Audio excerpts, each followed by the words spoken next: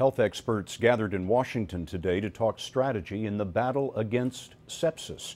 Sepsis kills more than 250,000 Americans every year, making it the third leading cause of death behind heart disease and cancer.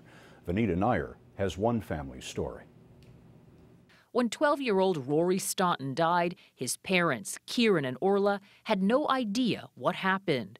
Rory had been a healthy kid until he got injured in gym class. So what happened at school? He fell and scraped his arm, uh, dump, you know, jumping for a ball.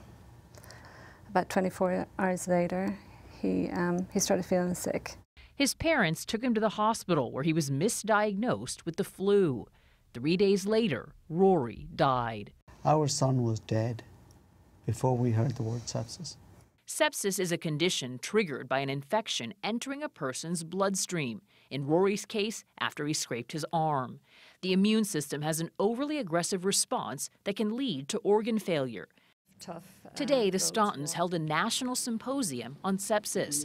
They've already helped change the law for New York hospitals, where doctors are now required to use a checklist to rule out the condition.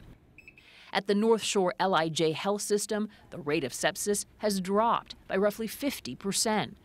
Dr. Martin Doerfler is the Associate Chief Medical Officer. It can move quite quickly.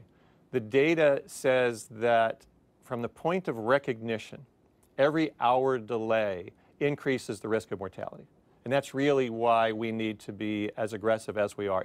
Does knowing how these regulations have helped other people, does it make it any easier? Burying your child, and we'll never have an easy day again. What I think makes us very angry is that Rory could have been saved. The Stauntons say their greatest regret is not knowing about sepsis. Now their mission is to make sure other families do. Vinita Nair, CBS News, Washington, D.C.